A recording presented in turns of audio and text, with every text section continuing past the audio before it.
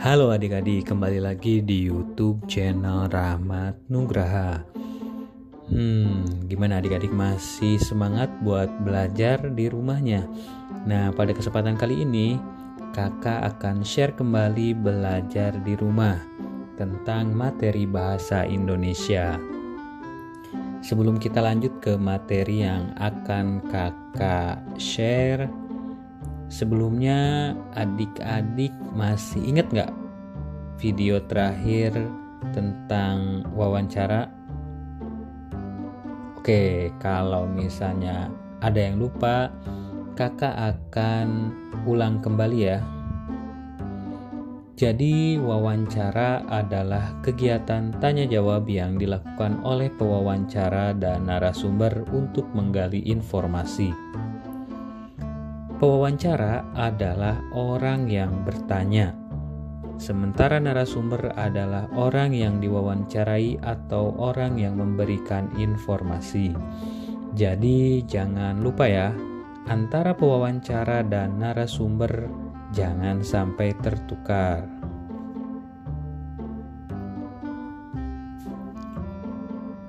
Setelah kita selesai mewawancarai narasumber, Langkah selanjutnya yaitu kita akan belajar tentang menulis laporan hasil wawancara.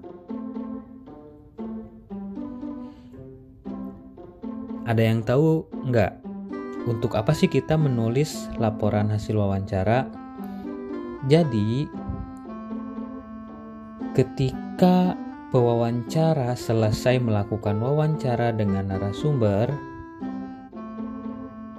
Nah,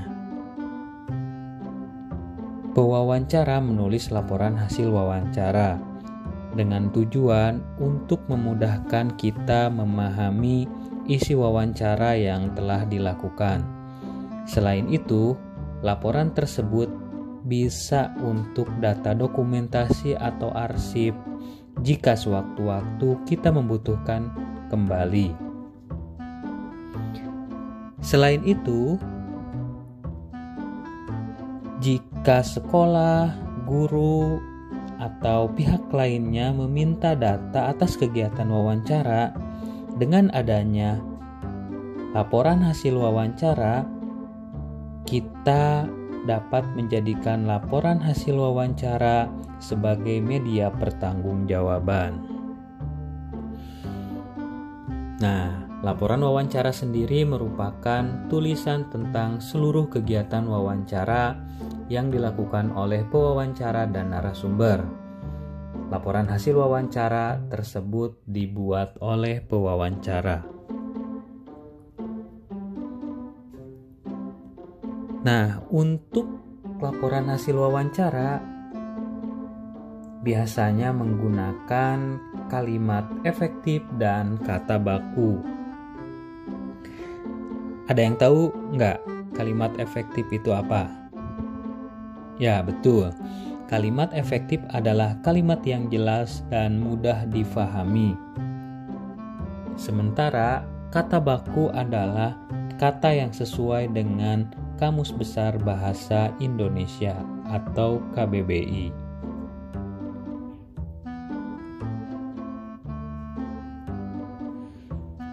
Ketika kita akan menulis laporan hasil wawancara, tentu kita harus mengetahui unsur-unsur menulis laporan hasil wawancara. Coba tebak, ada apa saja unsur-unsur laporan hasil wawancara? Nah, ada tujuh unsur laporan hasil wawancara. Di antaranya, latar belakang, ada tujuan wawancara, ada tema wawancara, ada latar wawancara, ada identitas pelaku wawancara, ada hasil wawancara, dan yang terakhir ada simpulan wawancara.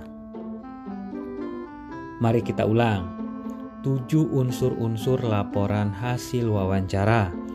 Yang pertama, ada latar belakang, yang kedua ada tujuan wawancara, ada tema wawancara, ada latar wawancara, ada identitas pelaku wawancara, ada hasil wawancara, dan ada simpulan wawancara.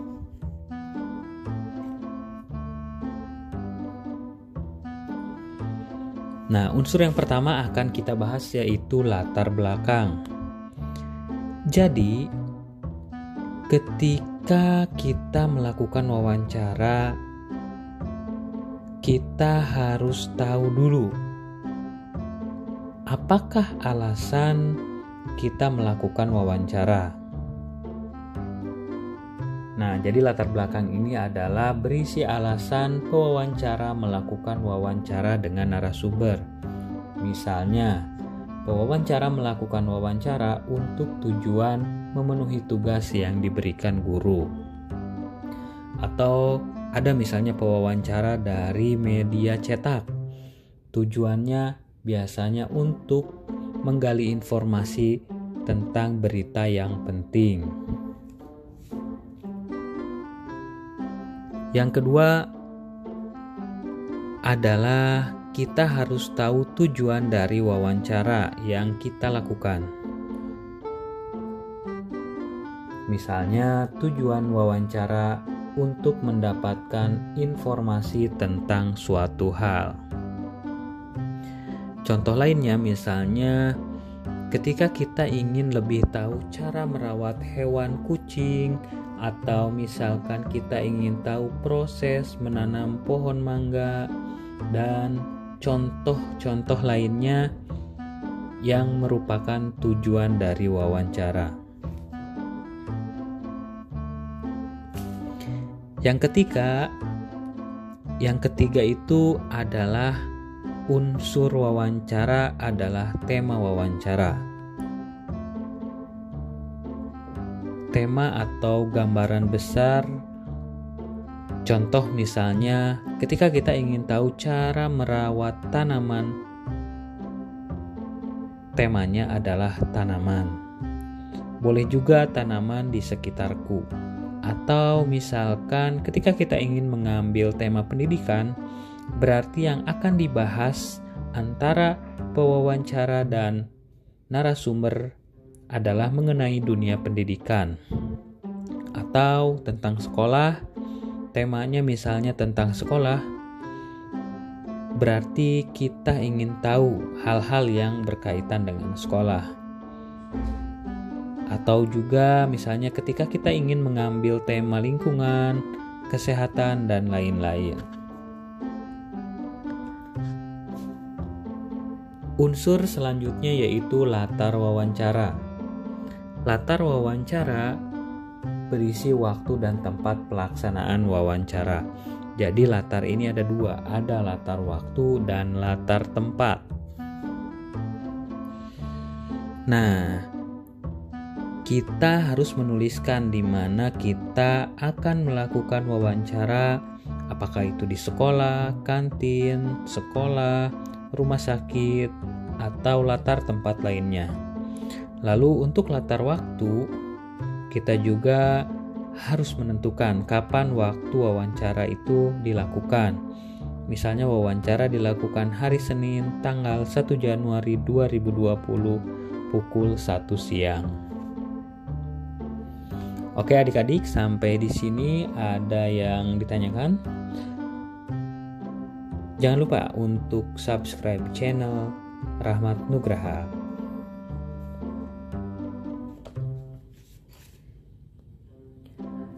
Oke, unsur selanjutnya yaitu identitas pelaku wawancara. Nah, terkait dengan identitas berarti itu adalah data diri. Jadi, identitas dan pelaku wawancara berisi identitas pewawancara dan narasumber yang terlibat dalam wawancara. Misalnya memuat identitas dari mulai nama, usia, pekerjaan, alamat, keahlian, dan identitas lainnya. Jadi, sebelum wawancara, dilakukan, kita tentu harus memperkenalkan diri, apalagi terlebih kita menjadi pewawancara. Contohnya ketika kita ingin mewawancarai seseorang, maka kita harus memperkenalkan diri. Nama saya misalnya Andi. Saya siswa kelas 3 dari sekolah Chandra di Muka. Saya mau mewawancarai mengenai tumbuhan di sekolah. Nah, setelah kita memperkenalkan diri, kita tanyakanlah identitas dari narasumber, mulai dari usianya, pekerjaannya, dan alamat tinggalnya.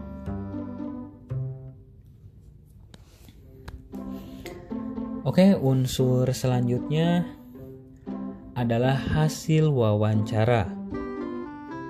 Hasil wawancara berisi jawaban dan informasi dari narasumber selama wawancara dilakukan.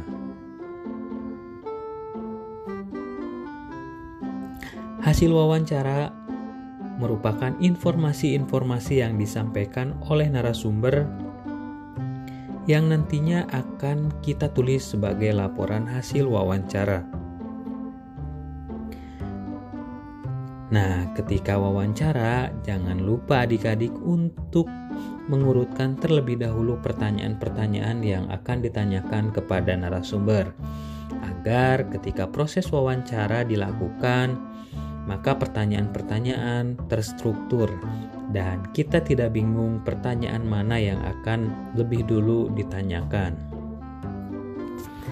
Nah, yang terakhir adalah simpulan wawancara. Jadi, simpulan ini berisi simpulan atau pendapat pewawancara berdasarkan jawaban dan informasi yang diberikan oleh narasumber.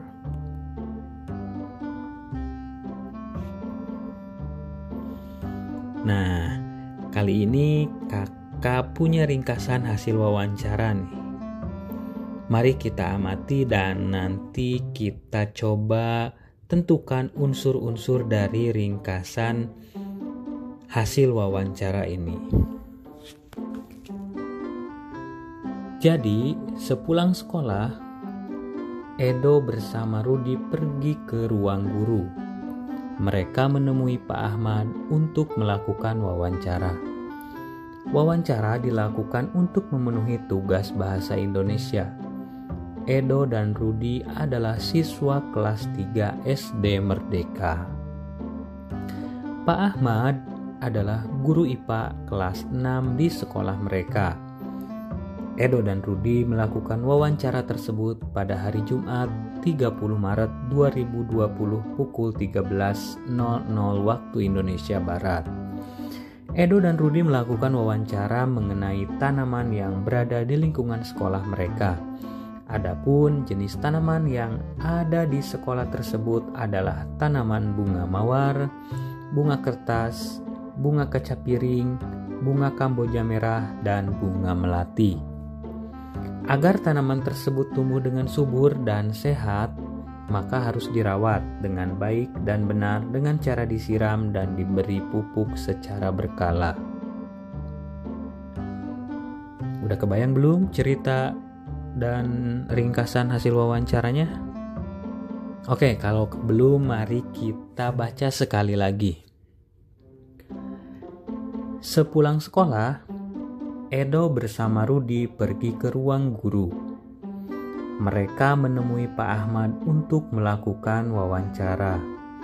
Wawancara dilakukan untuk memenuhi tugas bahasa Indonesia.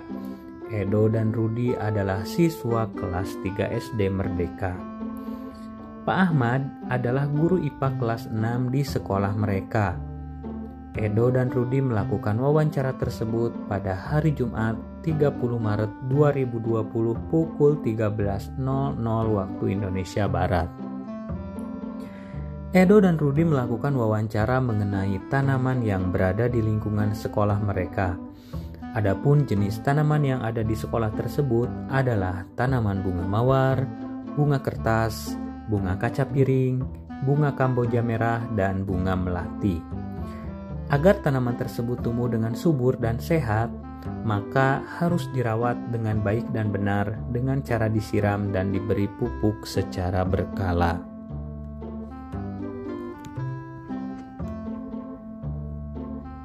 Oke, kita bahas bareng-bareng. Nah, nanti ketika kita sudah melakukan wawancara, seperti tadi ringkasan wawancaranya, kita akan membuat laporan hasil wawancara. Dari ringkasan hasil wawancara tadi, mari kita telaah unsurnya satu persatu. Yang pertama, latar belakang wawancara. Dari ringkasan hasil wawancara tadi, kita akan tahu bahwa latar belakang wawancara adalah Edo dan Rudi mendapatkan tugas dari guru bahasa Indonesia untuk mewawancarai narasumber agar dapat menyelesaikan tugas yang diberikan.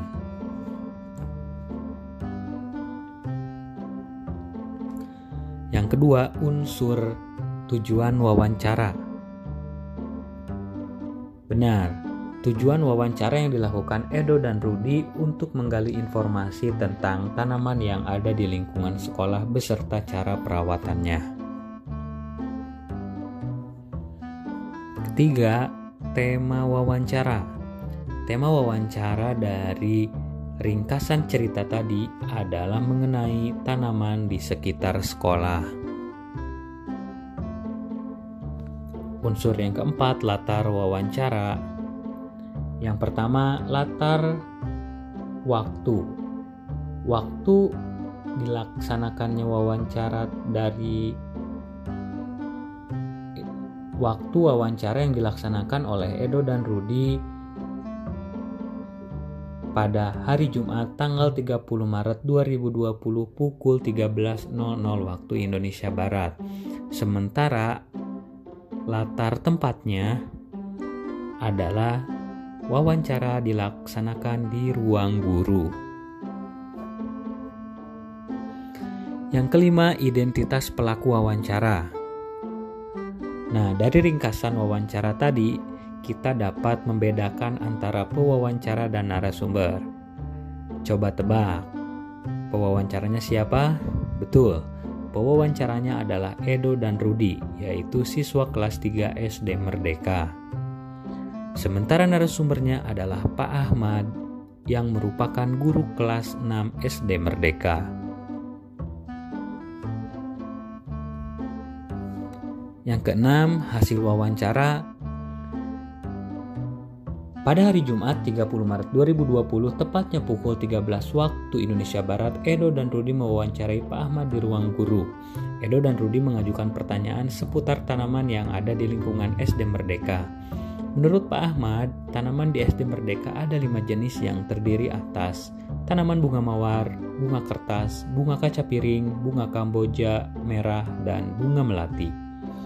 Pak Ahmad juga menjelaskan bahwa tanaman di lingkungan sekolah dapat tumbuh subur dan sehat karena perawatan yang baik dan benar. Perawatan yang dilakukan pada tanaman di sekolah yaitu dengan menyiram tanaman tersebut dan tak lupa diberi pupuk secara berkala. Nah, unsur yang terakhir atau kesimpulan wawancara.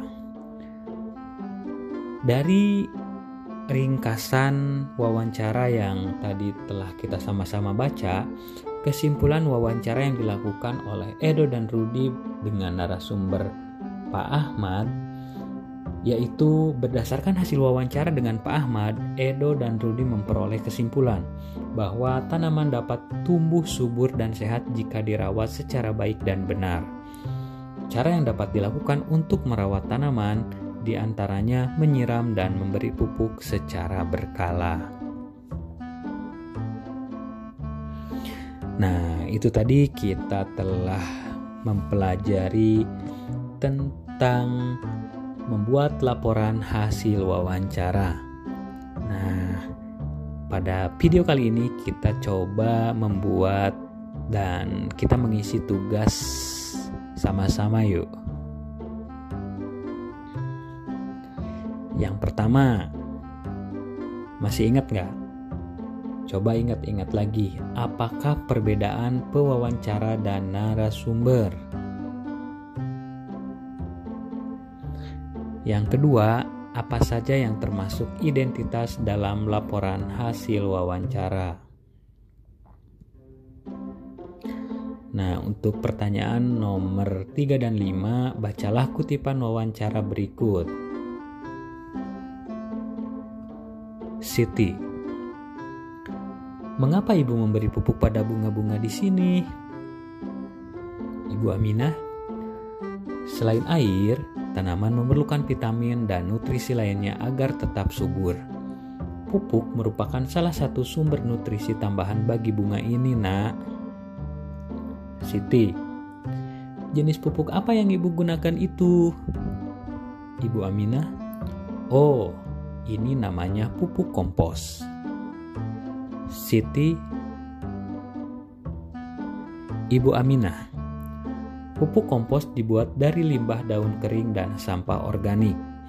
Daun kering dan sampah tersebut selanjutnya ditanam ke dalam tanah dan diberi zat kimia agar dapat membusuk.